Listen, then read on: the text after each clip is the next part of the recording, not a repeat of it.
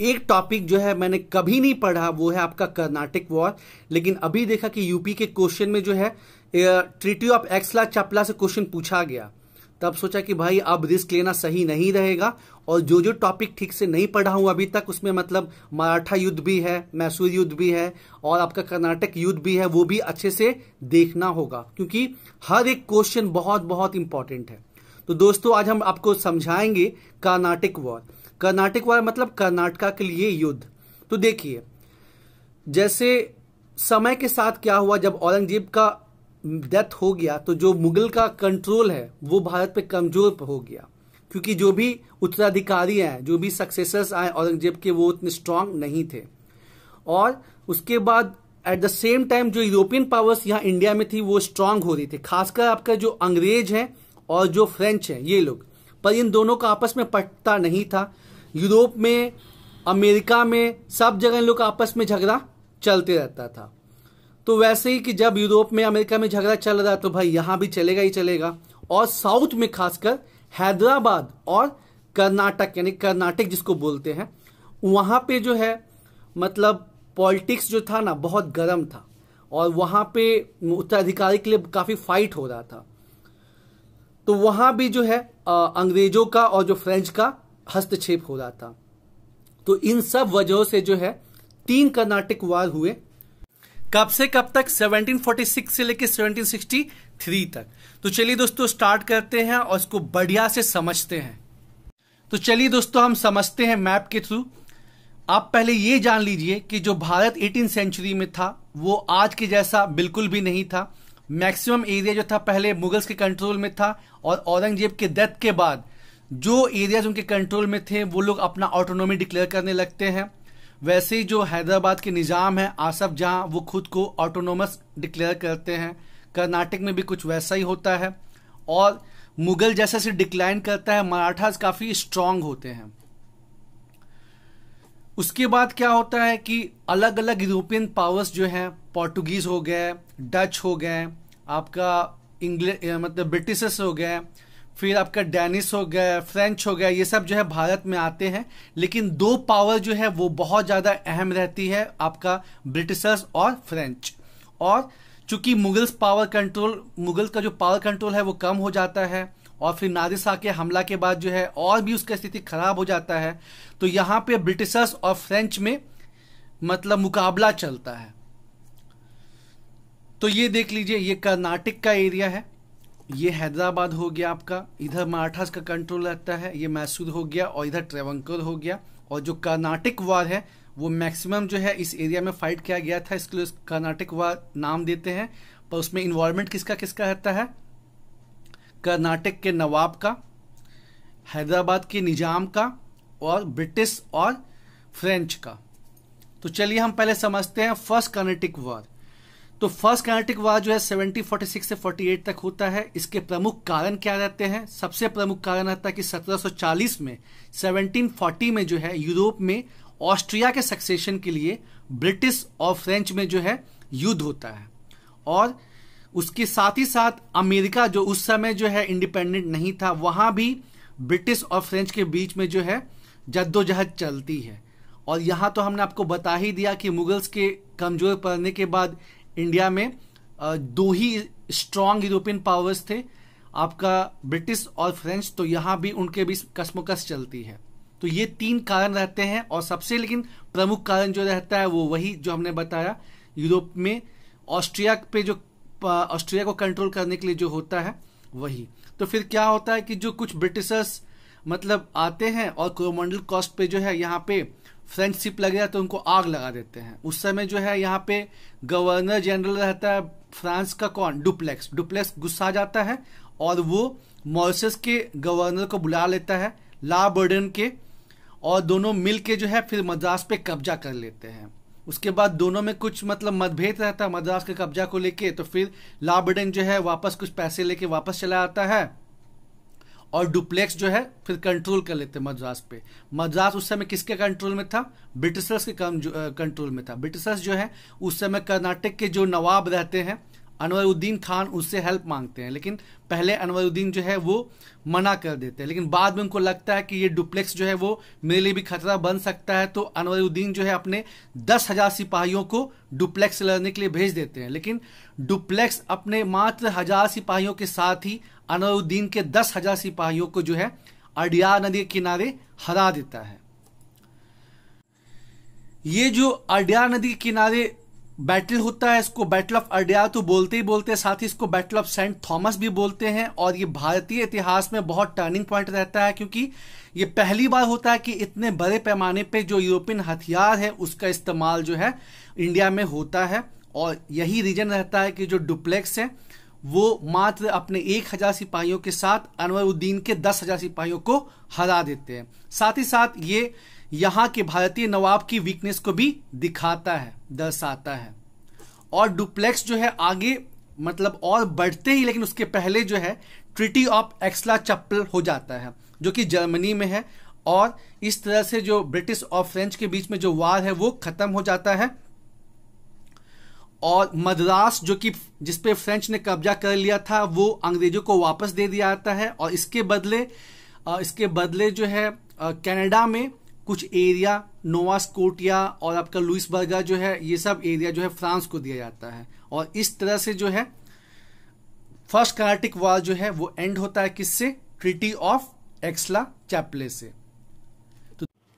अब हम आगे समझते हैं सेकंड कार्टिक वॉर फिर क्यों होता है। तो देखिए 1748 में ट्रिटी ऑफ़ एक्सला चप्पल के थ्रू क्या हुआ कि फ़र्स्ट कार्टिक वॉर खत्म हो गया और ब्रिटिश और फ्रेंच के बीच में समझौता हो गया।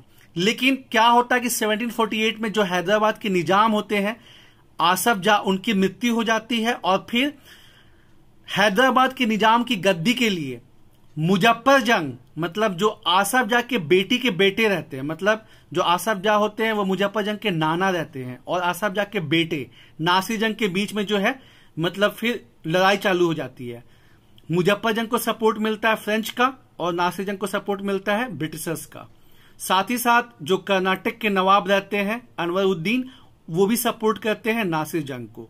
और फिर वेलोर से कुछ ही दूर अंबर में बैटल ऑफ़ अंबर होता है 1749 में, जिसमें अनवरुद्दीन की हत्या हो जाती है और फ्रेंच जो है डुप्लिक्स जीत जाते हैं और मुजफ्फर जंग जो है वो हैदराबाद के निज़ाम बन जाते हैं। अब चूँकि 1749 बैटल ऑफ़ अंबर में अनवरुद्दीन की हत्या हो गई तो अब कर्नाटक के जो नवाब हैं, उनके लिए भी दावेदारी बढ़ जाती है। वहाँ पे जो है चंदा साहेब और मोहम्मद अली तो मोहम्मद अली जो है उनको ब्रिटिश सपोर्ट रहता है। ये अनवरुद्दीन के बेटे रहते हैं और जो चंदा साहब रहते हैं चंदा साहब जो रहते हैं वो उनके आ, मतलब जीजा जी रहते हैं अनवरुद्दीन के। तो इनके बीच में जो है लड़ाई चलती है। फ्रेंच जो है वो चंदा साहब को सपोर्ट करते हैं जो फ्रेंटिस जो है वो मोहम्मद अली को सपोर्ट करते हैं। और फिर जो है बैटल ऑफ़ आर्कोट होता है और रॉबर्ट क्लाइव जो है इसमें विक्टोरियस साबित होते हैं और फ्रेंच हार जाते हैं। और मोहम्मद अली जो है, फिर कर्नाटक के नवाब बन जाते हैं। फाइनली जो है, आपका ट्रिटी ऑफ़ पौंडीचेरी होता है और फिर सेकेंड कर्नाटिक वॉर खत्म हो जाता है।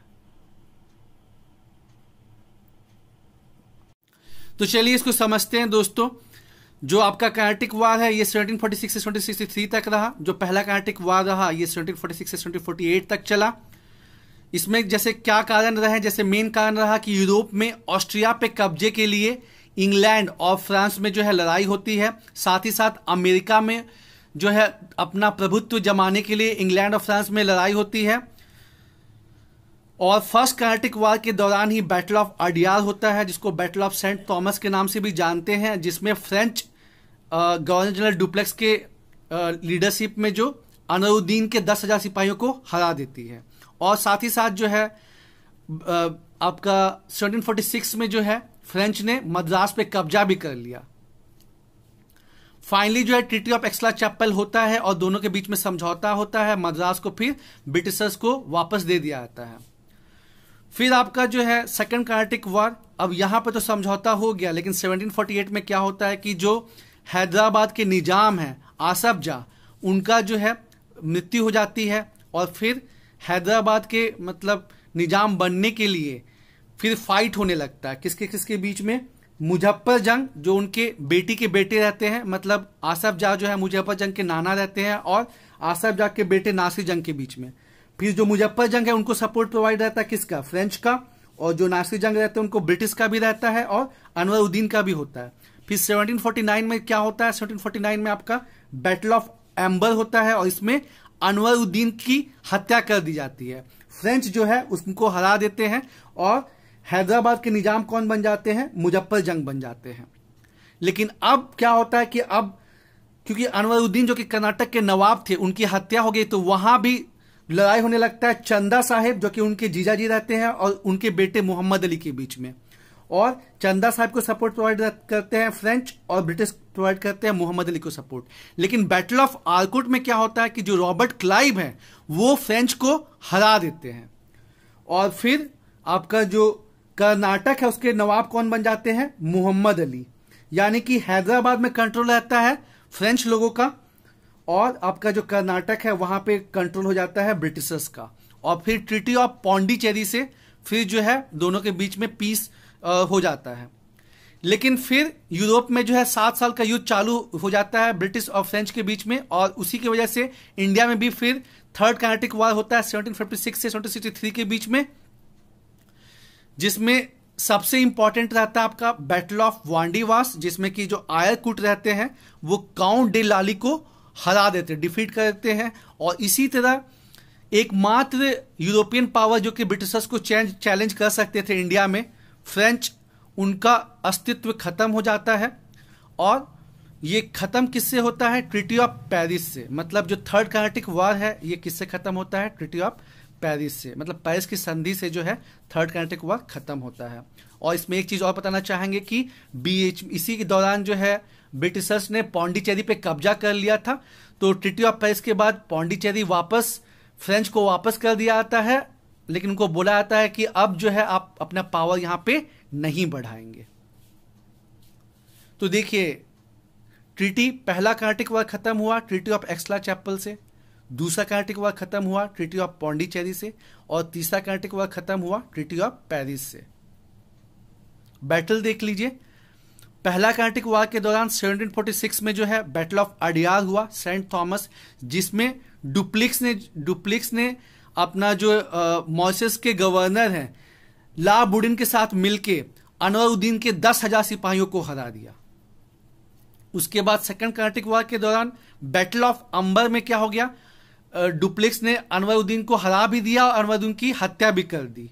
उसके बाद बैटल ऑफ़ आर्कोट हुआ, जिसमें रॉबर्ट क्लाइव फुल फॉर्म में आ गए और ब्रिटिशर्स ने फ्रेंच को हरा दिया। फिर इसका रिज़ल्ट क्या हुआ? इसका रिज़ल्ट यही हुआ सेकंड कर्नाटिक वॉर का कि आपका जो हैदराबाद के निज़ाम है, वहाँ पे फ्रेंच का कंट्रोल रहा, लेकिन जो आपका कर्नाटिक है कर्नाटिक के जो नवाब हैं, वो मोहम्मद अली रहे ब्रिटिशर्स के।